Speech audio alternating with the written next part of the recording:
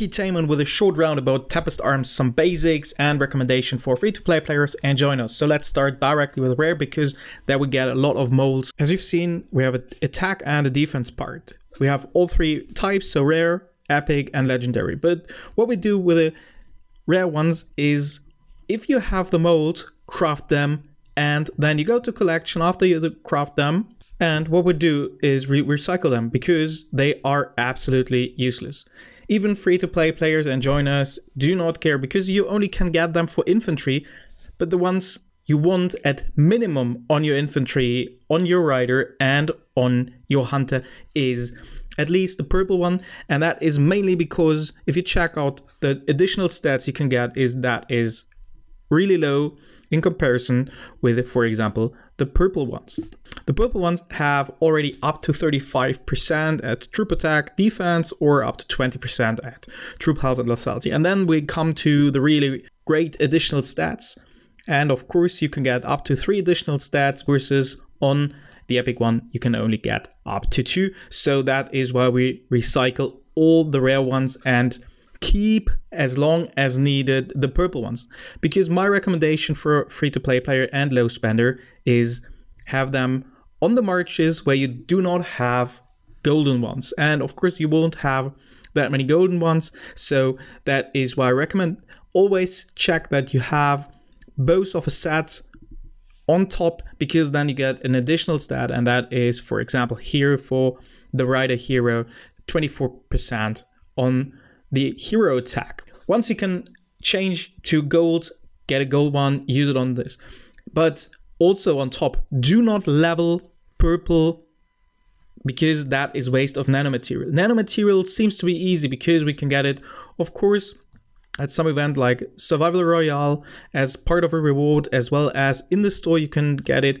But what you want to buy in the store is the gold mold, the crate, and the essence because that is really rare material. That is where you get the skill, but we come to that point soon. Just to showcase, for example, if you want to level up, what I definitely not recommend, blue one, you are investing 30 of the nanomaterials and you won't get 30 back because if we go up to 10 and check to recycle, it is on level 10 and you get 28 back, so you're losing two doesn't sound a lot, right?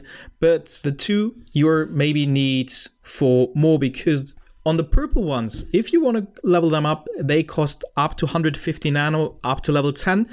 And the also difference is at purple, so at epic, you can get a special skill. You can't get that on the rare ones. That is why I highly recommend do delete all of them because what you want is at minimum three strong marches why three? Because we have Reservoir Raid, you have King of the Hill, you have Pass of Water, only two.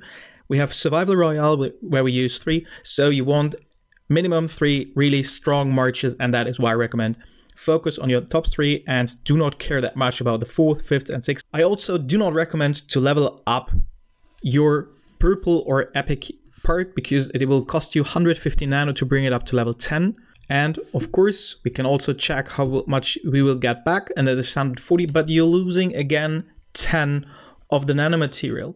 And now we're coming to the next point because the upgrade cost for the legendary part. And that is from level 1, crafting it, up to level 10, it is 450 of nanomaterial. And that is a lot you have to invest. And if you have six times use the purple ones, you already lose 60 of your nanomaterial. That is what I would call wasting it because free to play player low spender won't have that. So this is why I highly recommend to focus really get up your legendary part. If you think it's best I don't have that much legendary for a long time and I want to push my epic parts at the beginning, push your epics, but really be aware that you might miss exactly those small amounts due to recycling issues. So that's about it. And of course, what you want is when you check out, for example, the attack part. And at Legendary, we have the four additional stats. That one here is not as good because we have two purple stats.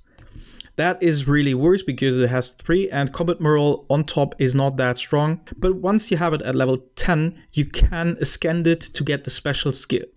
But I wouldn't do that on that one, and I wouldn't do it on this one. But I have done it on that one, and I was super lucky because I got an ultra rare skill which provides 118% damage dealt to all enemies at the start of the battle.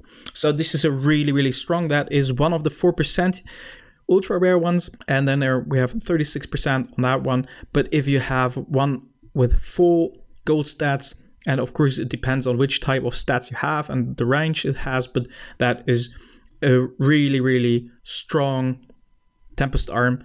I would keep and put it on the hero. I hope these ideas and this structure helps you for your team.